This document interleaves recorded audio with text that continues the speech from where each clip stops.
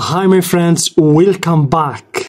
In this tutorial, I'm going to teach you the fastest way to detect the short circuit. If you want to fix shorted motherboards in minutes, stay tuned. This video is for you. So let's get started. But please don't forget to subscribe, like, share, and for anyone who want to accelerate learning, I can be your mentor. All links in the description.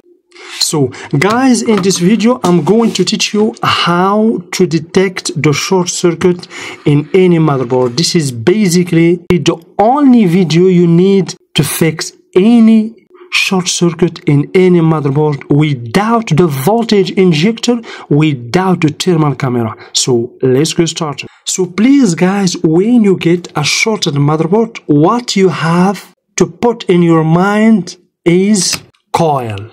Do you see? We have coils or inductors. These coils and inductors are the key to detect any short circuit just in seconds.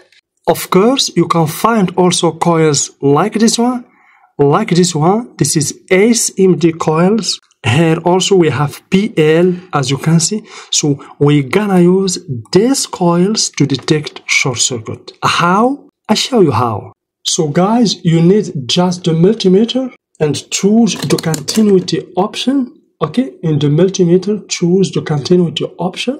Let's begin with this motherboard, guys. So I'm going to show you some motherboards, no shorted motherboards and shorted motherboard in order to understand 100%. So where is it? After selecting the continuity option in the multimeter, let's put the black probe in the ground. Everywhere in the ground, guys. For beginner, we have ground everywhere in the motherboard as you can see. So everywhere guys we have ground. Okay for beginner. So the black probe in the ground let's begin from here and check the coils. Here we have reading good good this one good this one here for the RAM nice this one over here. We have 11 this is not a short. Guys 11 is not a short when the inductor belong to the CPU circuit or PCH circuit okay? So let's check if we have another coil. That's it. You can even test the tantalum capacitor the same reading we have 11 11 guys 11 is normal when you measure or you check inductors and ceramic capacitors near to CPU. So this board is not shorted 100%. Let's see another board. So let's check this board guys. So always the black probe in the ground. Let's put the black probe in the ground. Let's get started. This inductor here, no continuity. This one, good. This one, good. Here we have 9. This one also we have 9. Why? the CPU. This is the chance for the CPU. That's why we have here low resistance, low resistance. This is not a short. Let's check this one also. We have ready. Let's go to the RAM. But We have the RAM. This one. Good. This one. Good. This board is not shorted. Guys, let's check this board and then go to a shorted board. And I will show you a shorted board. So let's begin with this one, for example. So the black probe in the ground, let's begin with this inductor, belong to RAM circuit, good. This one here, we have 15, why? Because here we have the ICH.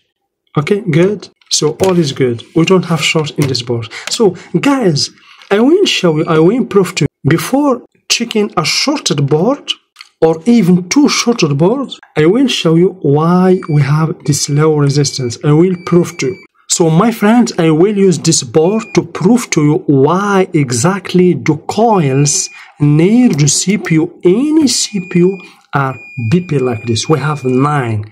We have here nine. So this is basically an old motherboard but the same working principle for all boards. Of course i know that there is some boards where we have an integrated cpu but here i want i want to teach you and to prove to you that this is not a short guys. So the black probe is in the ground okay? And the red probe I will put it in the inductor and then open the CPU okay? Let's get started open the CPU you see guys the shorts is gone. Why? Because I open the CPU okay? Even if the CPU is inserted but it's not closed. Look once I close the CPU you see guys I get my high reading, low reading, high reading, low reading. Do you see? Means 9 is not a short when you check inductors near the CPU or the PCH guys. So please pay attention to this trick. Okay? Open, close, open, close, open, close, open, close. Means guys, 9 in the multimeter in this inductors is not a short. This is the resistance for this processor.